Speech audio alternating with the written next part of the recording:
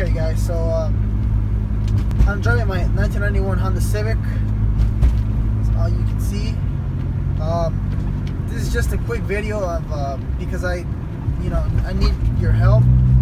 If any of you know what might be the problem, uh, I'll greatly appreciate it. Because I don't know, and uh, I already took it to my friend that he actually does uh, uh, the stereo connection and all that stuff. He still couldn't figure it out, but for some reason, the stereo turns up by itself when um, when I accelerate. So, look, I'm gonna. You see how I'm driving right now? I'm gonna stop right now on the. There's a stop sign right there on the far end, right there. I'm gonna stop, and then as soon as I stop, okay, right there, look, the, the stereo turned on. Look, it's maybe because I'm slowing down. Okay, look, there's a stop sign right there. I stop, and I'm gonna turn right so as soon as I accelerate watch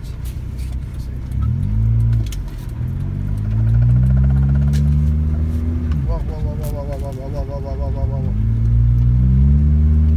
right there it turns off see another stop another stop sign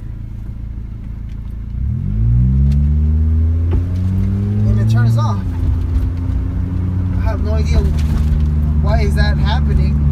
That that's never happened to me before. In, in any in any other car I've ever had, never. Look, I'm slowing down already, and um,